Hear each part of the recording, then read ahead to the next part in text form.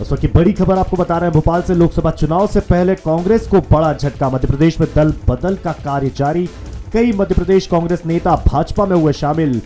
पवई के पाँच सरपंचों ने ली भाजपा की सदस्यता। कांग्रेस आईएनसीआर प्रकोष्ठ के जिलाध्यक्ष सावन सिंह ने थामा बीजेपी का हाथ। प्रदेश कार्यालय में बीजेपी प्रदेश अध्यक्ष विष्णु दत्त शर्मा ने दिलाई सदस्यता। जी हाँ खबर आपको बता रहे हैं, भोपाल से लोकसभा चुनाव से पहले कांग्रेस को एक और बड़ा झटका। मध्य प्रदेश में दल बदल का कार्य जारी।